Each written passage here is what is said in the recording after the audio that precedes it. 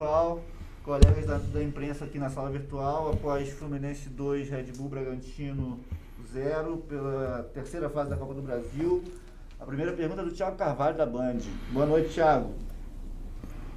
Boa noite, boa noite, Daniel. Boa noite, Roger. Boa noite a todos.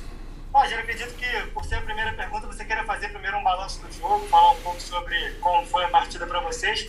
Mas a pergunta que eu quero deixar para você novamente é sobre o Fred, né? É, a gente sabe que sempre que o Fluminense precisa, o Fred aparece. Hoje não foi diferente. Inclusive, um ano muito especial para o Fred. Ele chegou no gol 400 da carreira, se tornou o segundo maior artilheiro do Fluminense.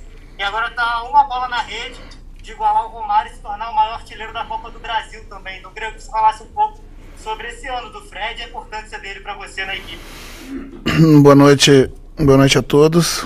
Foi uma partida consistente, segura, né, acima de tudo né, de muita paciência, né, porque nós enf enfrentamos um grande adversário que tenta uh, construir o seu jogo a partir do seu campo e, e naturalmente por estar jogando em casa nós teríamos que subir um pouco a marcação e pressionar dentro do campo e, e, e não poderíamos uh, de forma alguma oferecer oferecer a transição e os espaços nessa nessa nesse nesse momento que pressionávamos dentro do campo né? Foi um 0 a 0 no primeiro tempo, que nós tivemos muito volume, foram oportunidades criadas, mas não concretizamos o nosso gol.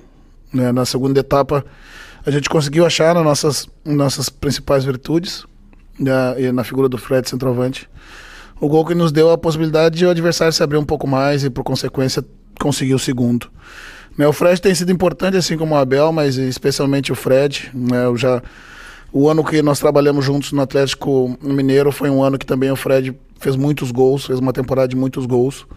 Sobretudo porque as equipes que eu procuro trabalhar, eu tenho como referência sempre o jogador que faz que, que joga à frente, que é o artilheiro da equipe, né? Todas as movimentações de, de posicionamento e jogadas eu vou trabalhar para que ele seja o comandante da área principal válvula para que uh, a gente consiga balançar as redes, porque é o jogador, os jogadores que têm mais virtudes para isso, né?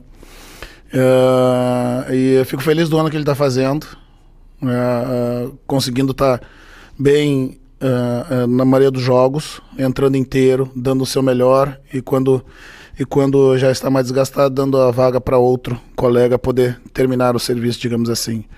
É um ano importante para a gente, para ele, e nós estamos construindo uma temporada boa.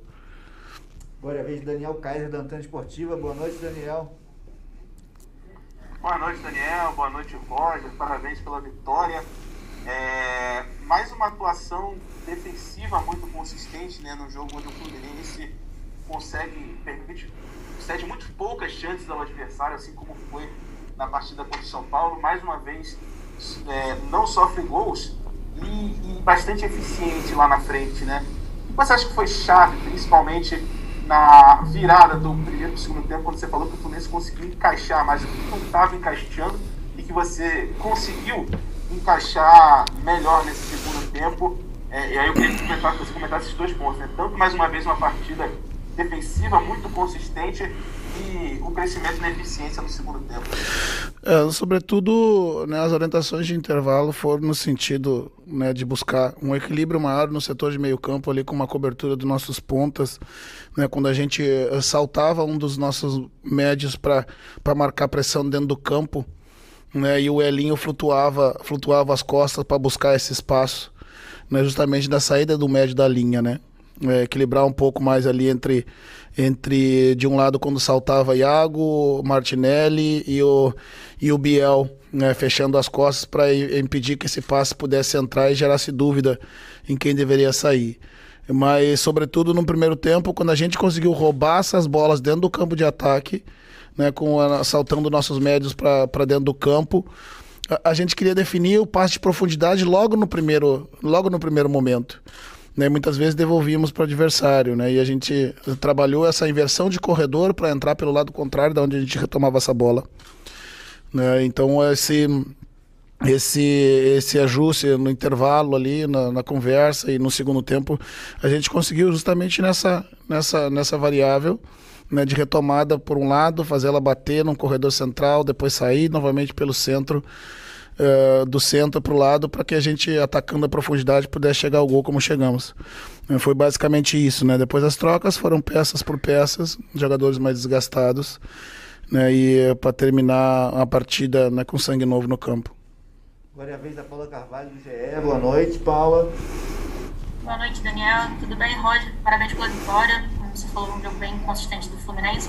Se me permitir, queria fazer duas perguntas. A primeira delas é em relação ao Caio Paulista, né? O Caio Paulista, quando chegou no Fluminense ano passado, era um jogador bastante questionado pela torcida. Ele andava muito ao longo dos jogos e ele cresceu muito de produção nessa temporada com você já no comando. Queria que você falasse um pouquinho do Caio Paulista e também sobre o Ganso, né? Recentemente o Diniz no Santos falou né, que gostaria de contar com o Ganso, que seria, seria bom para todo mundo. E como é que você vê o Ganso do seu grupo. Obrigada. Então, o Paulo, eu falei sobre ele no último jogo, né? Uh, onde, da ausência do, do Casares, ele passava a ser minha imediata opção e entrou hoje, entrou muito bem, é, oferecendo o que ele, que ele tem de qualidade. Né? Eu tenho buscado ajustar um posicionamento dentro do que eu entendo para aquela função. É uma posição um pouco mais desgastante para o meio, né? jogar num tripé, mas o Paulo aqui mesmo no Fluminense já jogou de volante com o Diniz, né? então tem essa capacidade de fazer essa função, né? E com uma qualidade que, que poucos jogadores têm, né? Quando ele entrou, muitos passes achou, né? Se posicionou, disputou, roubou, roubou, roubou bola, né? Isso tudo uh, uh, ah, para um, demonstrar o que ele está motivado, né? independente do que vai acontecer, né? Eu conto muito com ele. Agora, o Caio é o Caio é o atleta que mais evoluiu no ponto de vista de posicionamento tático dentro do campo uh, uh, entendeu entendeu que precisava no começo do ano evoluir dentro do que eu entendo para o jogador dessa função e trabalhou muito. Hoje o Caio uh, tem sido decisivo pro assim como o Biel tem sido decisivo para o equilíbrio do nosso meio campo né, nas inversões de corredor, onde a gente, onde o adversário está tentando entrar pelo um lado, ele está dividindo o campo, ajudando a ser um quarto jogador de meio e tem muita força para tomar a bola do adversário e arrancar na direção do gol. Né? Ele gosta do jogo físico, mas não só o jogo físico. Né? Quando preciso pegar a bola às costas da linha sem a, sem a presença do jogo físico para girar na linha, ele também tem essa virtude. Evoluiu muito, fico muito feliz, né? mas hum, hum, da minha contribuição tem muito pouco. que tem é muito da vontade do atleta de evoluir. Agora é a vez do Sérgio Guimarães, da Rádio Tupi. Boa noite, Sérgio. Boa noite, Daniel. Boa noite, companheiros. Boa noite, Roger. Parabéns aí pela vitória na Copa do Brasil. Duas perguntas, por gentileza. A primeira, Fluminense estava numa pegada forte. Tinha Libertadores e tinha Campeonato Brasileiro. Agora tem uma terceira competição. Existe a possibilidade do jogo contra Cuiabá você já pensar em poupar alguém? Jogo 11 horas da manhã, São Januário já mudou de estádio. Existe essa possibilidade? Uma segunda pergunta, por gentileza é uma questão envolvendo a Copa América, um assunto bastante questionável por todo mundo. O que, você acha da Copa América ser realizada no Brasil? Então, com relação a, a, ao, próximo jogo, no domingo pela manhã, né, eu não gosto de usar a palavra poupar, né, que parece que é um desprestígio o torcedor, por vezes, entende, interpreta mal essa, essa denominação como né, um desprestígio à competição, né? Eu vou, eu trabalho muito em, em conjunto com a fisiologia. Eu quero poder levar o que melhor uh, e que melhor uh, está no momento para dentro do campo. Né? Mas eu preciso levar jogadores que estejam frescos, né, descansados. Se for necessário fazer isso, né, a gente pode a gente pode escolher essa via, né, mas eu penso que o tempo de recuperação é adequado, né, amanhã depois a gente vai vai receber os dados da avaliação física e vamos ver se há necessidade da gente da gente colocar um outro jogador mais mais descansado na partida em detrimento daquele que teve um sacrifício maior no jogo como esse. Com relação à Copa América, eu tenho ouvido muito falar né, de uh, que de algumas em algum momento, né, sobre a realização dela no Brasil, né, se fala na né, de hipocrisia sobre né, por que se pode um e não se pode outros, né, à medida que o Campeonato Brasileiro, as outras competições estão se disputando. Né, assim como a vacina, quanto mais, quanto mais gente se vacinar, melhor, mais se controla a pandemia, quanto menos eventos houverem, a, a, a ver né, a, dentro do país com, com, com estrangeiros, com pessoas de fora trazer, podendo trazer variáveis diferentes, a gente não deve, não deve, não deve ser autorizado. A minha opinião é que deveria se cancelar, pô. Né, se permitir que faça-se no outro momento. O Copa América tem a todo momento. Acabou de ter agora recente há dois anos.